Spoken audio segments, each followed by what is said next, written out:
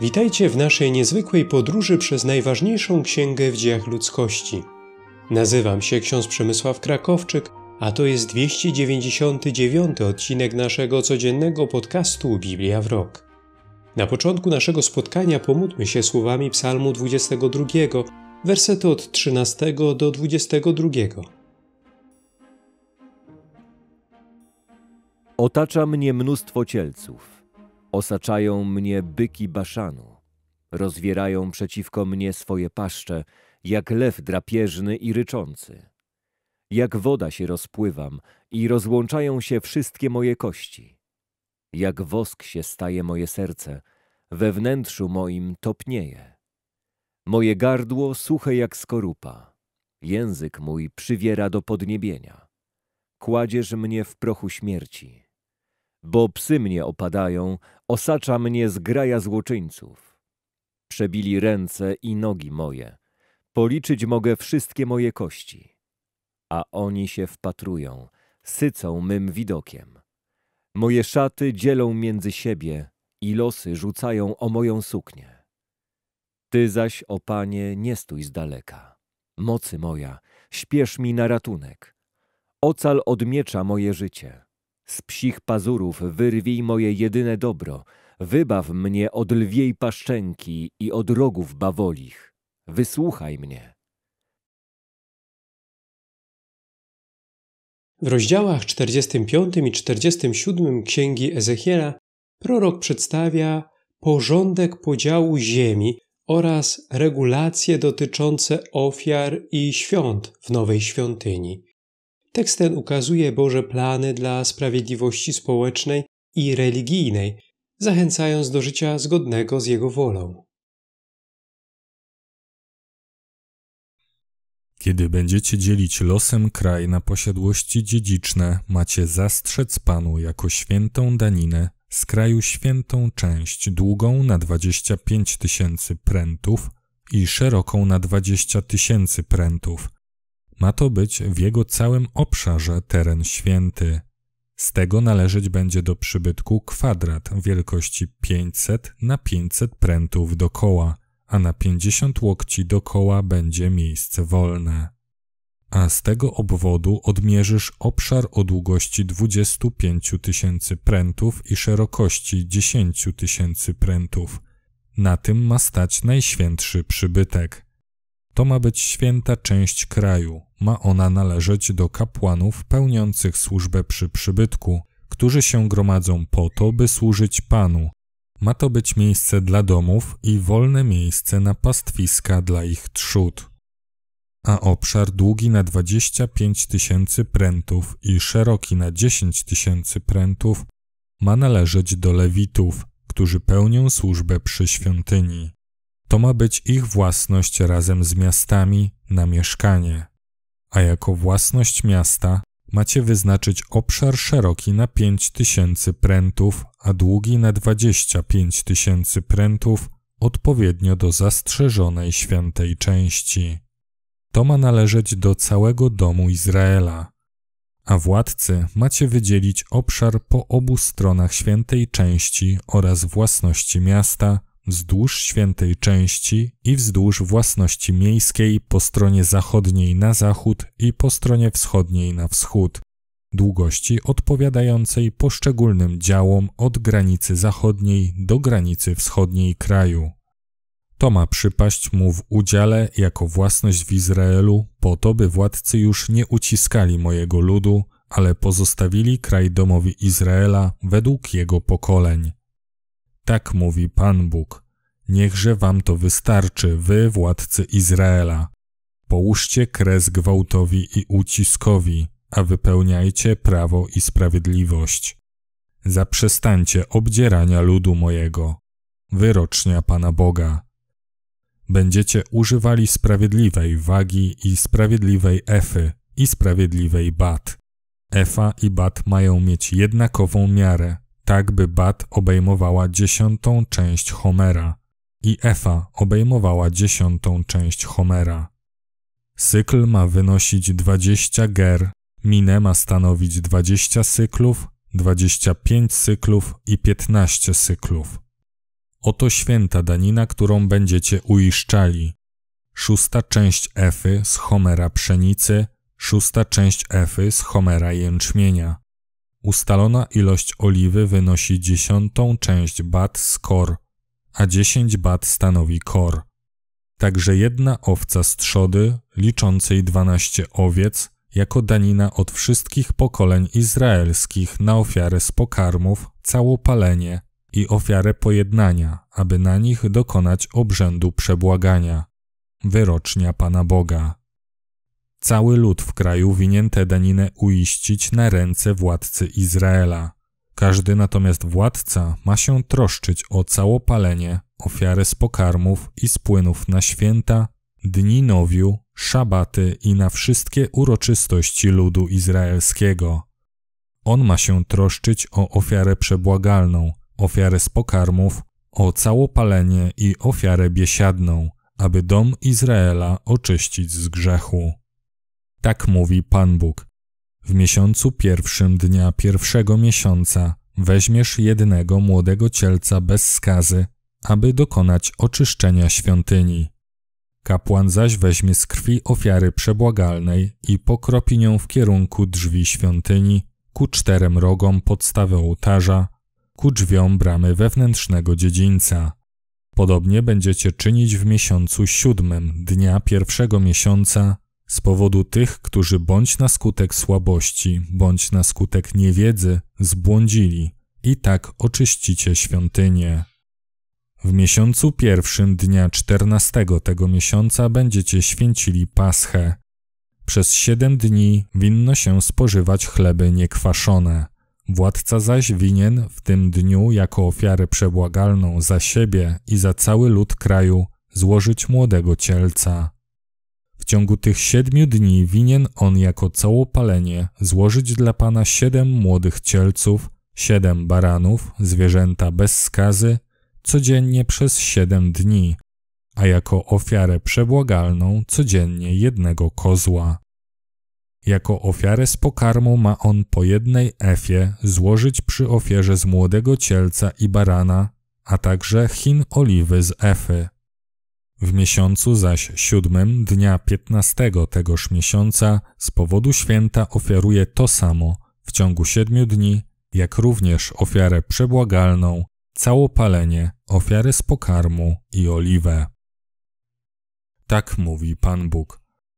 Brama dziedzińca wewnętrznego, zwrócona ku wschodowi, winna być przez sześć dni tygodnia zamknięta, natomiast w dniu szabatu winna być otwarta, Także w czasie nowiu winna być otwarta.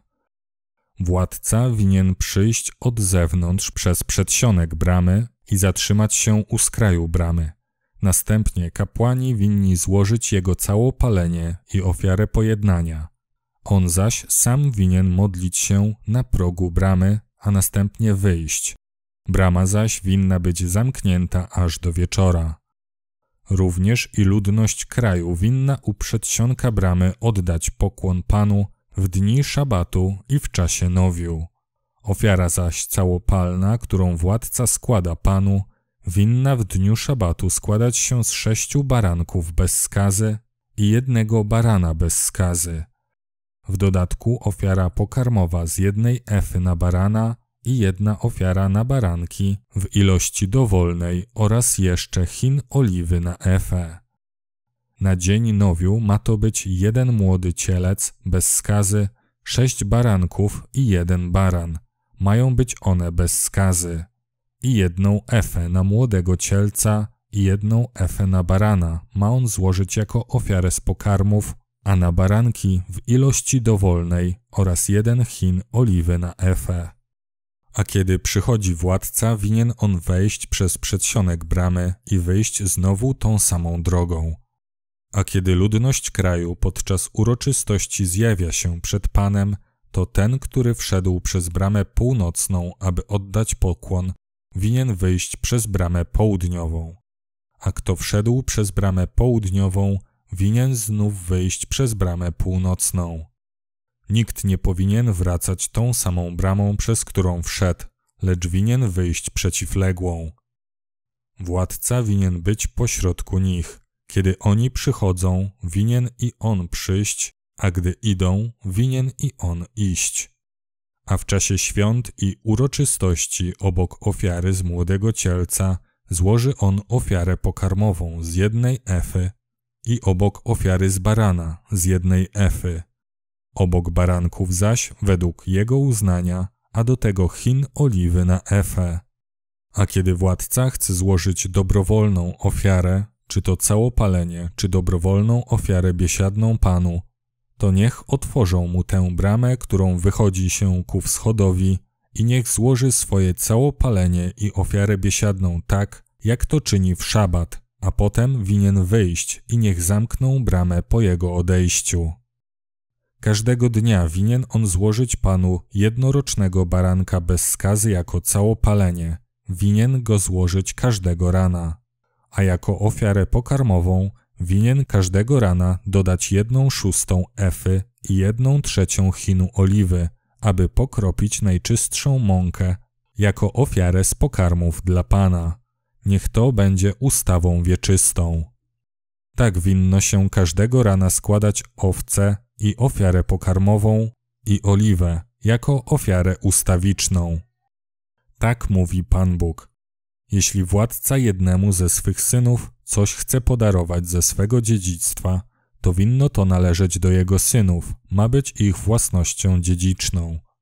Kiedy zaś chce on podarować coś ze swego dziedzictwa jednemu ze swych sług, to winno to należeć do niego aż do chwili jego wyzwolenia, a potem ma wrócić do władcy. Tylko dziedzictwo synów ma do nich należeć. Władcy nie wolno nic zabrać z dziedzictwa ludu, odzierając go gwałtem z jego własności.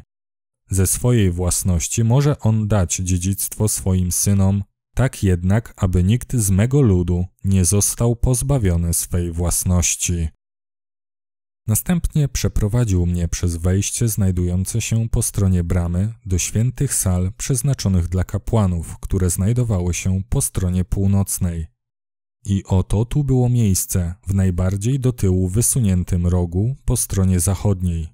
I rzekł do mnie: To jest miejsce, gdzie kapłani będą gotować swoje ofiary zadośćuczynienia i przebłagalne, oraz będą piec ofiary z pokarmów, aby nie musieli ich wynosić do zewnętrznego dziedzińca, uświęcając przez to lud. Następnie zaprowadził mnie do dziedzińca zewnętrznego i kazał mi przejść koło czterech rogów dziedzińca.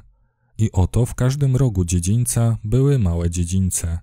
W czterech rogach dziedzińca były małe dziedzińce długie na czterdzieści łokci i szerokie na trzydzieści łokci.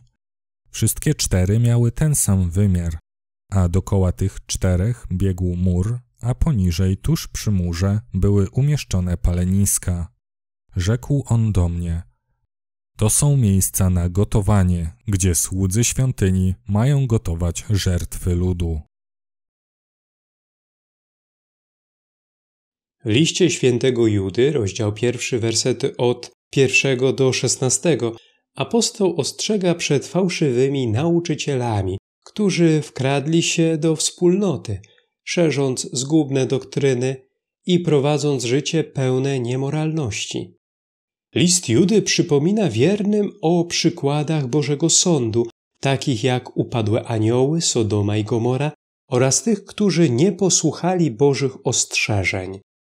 Opisuje tych fałszywych nauczycieli jako buntowników, którzy szukają to, czego nie rozumieją, a ich postępowanie prowadzi do zguby.